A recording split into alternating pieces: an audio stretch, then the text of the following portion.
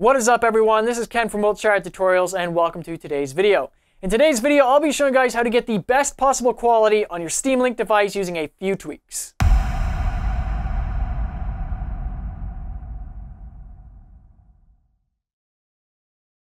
When I first plugged in the Steam Link and gave it a whirl for the first few hours, I was a little bit underwhelmed in terms of its stream quality. I found that there was a lot of artifacts in the video of my games. Now, being the quality person that I happen to be, I always want to get the best quality out of the products that I buy. Now, I set out on the internet to see if I could find a way to remove the bandwidth cap that Valve has put on the Steam Link. After a few hours, I managed to find a blog post of someone actually doing that. And I'm here to show you guys that process today. Now, to do this process, you need a few things. Obviously, you're going to need a Steam Link device. You're also going to need a PC that has the ability to transfer over the modified files to a USB thumb drive. Now, with that said, we are going to need a USB thumb drive with at least 256 megabytes in space. It could be an SD card into a USB reader or a thumb drive. It doesn't matter as long as a storage device that can go into the Steam Link and be powered from it. Now, we are also going to need a device that has the ability to navigate the Steam Link, such as a Steam controller, Xbox 360 controller, or a mouse and keyboard. With that said, I'm going to jump over to my PC now, and I'm going to show you guys the process with the modified files. Before we start modifying the files for the Steam Link, make sure that you have a storage device plugged into a USB port on your PC. Next, go to the description below this video and click either one of the two links, Mega or File Dropper. This will lead you to the area where you can download the modified files so you can begin the tutorial. With the modified configuration files downloaded, right click on the zip folder and extract all the contents of that zip folder. With the contents extracted, feel free to delete the zip folder and go ahead and open up the extracted file folder. Once you're in the extracted file folder, select and copy the two configuration files in that folder. Next, navigate to your removable storage device and paste those configuration files into your storage device. After pasting those two configuration files, open up the text document named streaming underscore RGS. This text document contains an argument. Now, an argument is a line of code that tells the Steam Link what to do in terms of settings. For example, this line of code is telling the Steam Link what its maximum bitrate is for its hardware encoder. By default, the Steam Link has a hardware encoder limit of 25 megabits per second. Now, in this line, I've changed it to 35 megabits per second. By doing this, this will increase the quality coming out of your Steam Link. However, this will also induce a little bit more input latency. If you find that you're having issues with the Steam Link in terms of latency for the input or laggy audio and video, I suggest that you knock down the hardware bitrate limit to 25,000. This is the default limit that the Steam Link comes with, and I suggest that you work your way up from there to find what's best for you. I've personally found that 35,000 works best for me. That may be due to a few reasons, such as my host PC being very good in terms of hardware, as well as my home's network router. Once you have figured out a value that you think will work well with your Steam Link, go to File and save the text document. Now, if you don't save the text document, you'll be using the hardware bitrate limit that I have provided for you, which would be 35 megabits per second, and it may not work well for you. Next, we need to put the modified configuration files in a few folders. So first, you need to create a folder called Steam Link. Now, once you've created that folder, go inside that folder and create another folder called config. Once you have made the config folder, go inside that folder yet again and make another file called system.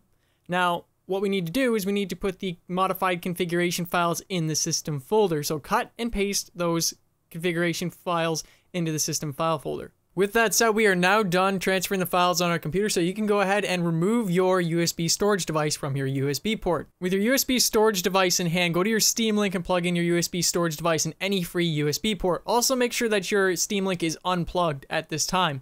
With the storage device plugged into the Steam Link, go ahead and plug in your Steam Link and power it on. For this demonstration, I decided to switch up my USB reader, mainly because the Duracell reader that I am now using has an activity light on it. On the thumb drive or the USB reader that you're using, the activity light will flash as soon as you turn on the Steam Link. During boot, the Steam Link will read the configuration files from that USB drive. With our Steam Link turned on, let's jump over to the Steam Link's interface and let's get started. Once you're on the main menu of your Steam Link, go to the Settings tab and then go to your Streaming tab. Now, what you want to do here is you want to change the display resolution to whatever the resolution of your TV is. For some odd reason, whenever you use the configuration files, it wants to default the resolution to 900p. So since I'm using a 1080 monitor, I will be using 1920 by 1080. You'll also want to choose the performance overlay as well so you can tell how well your Steam Link is handling the modification. Once you have connected to your host PC with the Steam Link, make sure you have a keyboard plugged into your Steam Link. Once you're on the main menu, hit the F6 key and this will bring up the detailed information about how your Steam Link is performing in terms of streaming. I'm now going to start up Rocket League and use Rocket League as a benchmark for the Steam Link. Now, Rocket League is very intensive for the Steam Link for whatever reason, I'm not sure. However, this is a very good game to test the Steam Link's performance. Now, in this example, I am using Wi-Fi on my Steam Link, so I will be setting the maximum to about 28,000 kilobytes per second or 28 megabits per second. So I'm going to try and find a match here just to show you guys the performance of the Steam Link on Wi-Fi.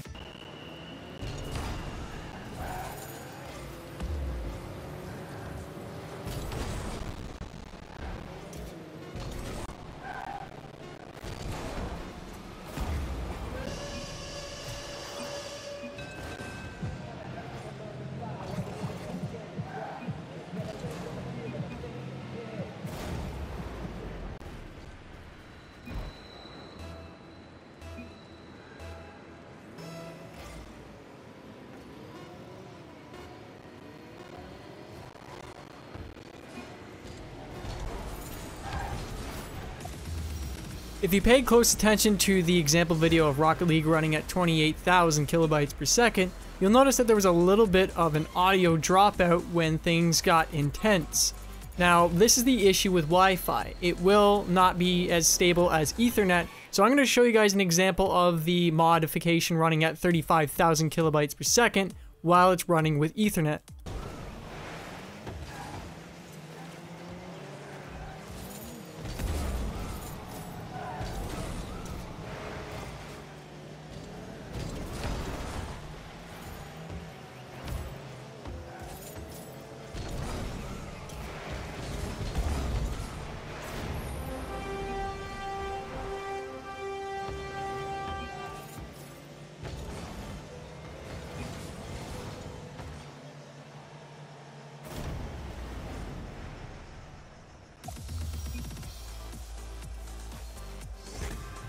As you can see, while using Ethernet with the Steam Link, it's much more stable when pushing the bitrate a lot higher than it should be. With that said, I highly recommend Ethernet over Wi-Fi when using this mod, However, this mod can be quite useful for you if you're using Wi-Fi and you want to dial in the bitrate so you get a good experience over Wi-Fi. Also, what I find interesting is that each game that you play will perform differently. For example, Fallout 4. Fallout 4 barely even reaches the 35 megabit max that I've set, which is rather interesting. With that said, you may have to do a little bit of trial and error. You may have to mess around with the bitrate to get it to work with certain games. But it's not that aggravating because all you have to do is edit a text document and save it on your memory stick, so messing around with things is not overly complicated, which is good. If you're having issues seeing the difference between the factory default for the stream quality and then the modded stream quality, I've linked a picture down below that is lossless. It hasn't been compressed in any way, so you should be able to get a good representation of the difference that this mod makes. Now, it's not